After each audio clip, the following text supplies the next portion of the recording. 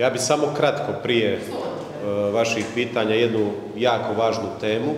koja opterećuje veliki broj naših građana. Mi smo naime u prošlom mandatu uputili zakonski prijedlog kojim mijenjamo prag ulaska u sustav PDV-a s 40.000 na 60.000 EUR-a. Vidim da jučer taj prijedlog koji smo mi još u prošlom mandatu uputili u proceduru da upućuje i SDP. Dakle, postoji jedan širi konsenzus u oporbi, a koliko mi je poznato oba koalicijska partnera HDZ-a,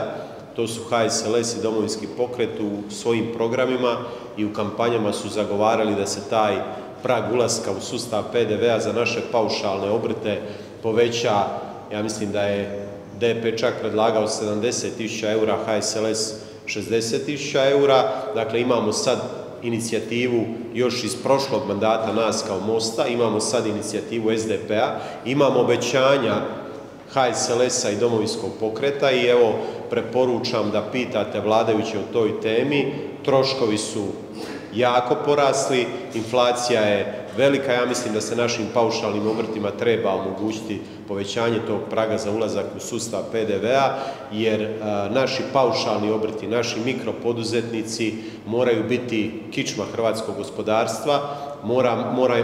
moramo im kao Vlada i kao Hrvatski sabor dati jedan poguranac